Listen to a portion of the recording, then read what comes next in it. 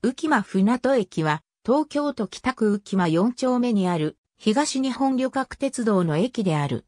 駅番号は JA17。北区最北端勝最西端の駅でもある。また、JR における東京都区内最北端の駅でもある。略称、浮間、浮船。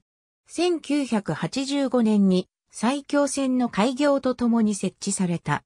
北区浮間と板橋区船戸にまたがった位置にあるため、両者を合わせた駅名となった。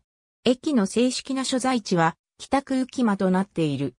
当駅に乗り入れる路線は、線路名称上は東北本線であるが、旅客案内上では最強線として案内される。最強線における当駅が東京都内最北の駅であり、当駅と戸田公園駅の間に死者境が設けられている。かつ、特定特殊内制度における東京都区内の北限になっている。島式ホーム一面二線を持つ高架駅。ホームの新宿寄りには待合所が設置されている。改札、出口は一箇所で、出口は北側のみ。ホーム全体がカーブしているため、一部足元が広く開く部分がある。JR 東日本ステーションサービスによる業務委託駅。自動改札機、エレベーター及びエスカレーターが各1台設置されている。緑の窓口は指定席券売機設置に伴い営業を終了した。当駅は東京都区内の駅のため JR 西日本のインターネット予約サービスの E5489 が受け取り可能となっている。上下線で日本電音製の発車メロディを使用している。1985年9月30日開業の最強線の各駅には駅ごとに色が付けられ、現在も引き継がれている。当駅のカラーはグリーンである。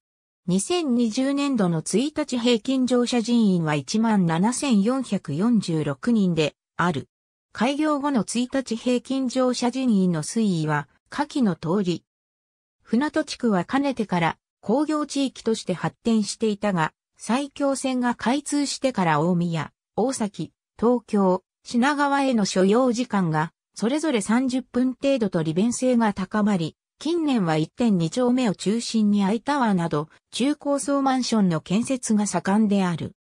浮間地区はもともと住宅地であったことから開発余地が比較的少なく変化も少なかったが、近年は中高層マンションが少しずつ立ち始めている。北には浮間が池を中心にした浮間公園がある。南には浮間中学校、西、浮間小学校と東京都下水道局の浮間水再生センターがある。この他到着便として赤71系統赤羽駅西口からのバスや浮船80系統西大中学校からのバスがある。着駅を東京都区内とする乗車券で、大宮駅北に乗り越した場合などは、大都市近郊区間における選択乗車を認める制度により、最短距離での計算となるため、実際の乗車経路が東北本線川口、浦和経由であっても赤羽駅からの計算ではなく、当駅からの計算となる。出店広報資料、プレスリリースなど一時資料。ありがとうございます。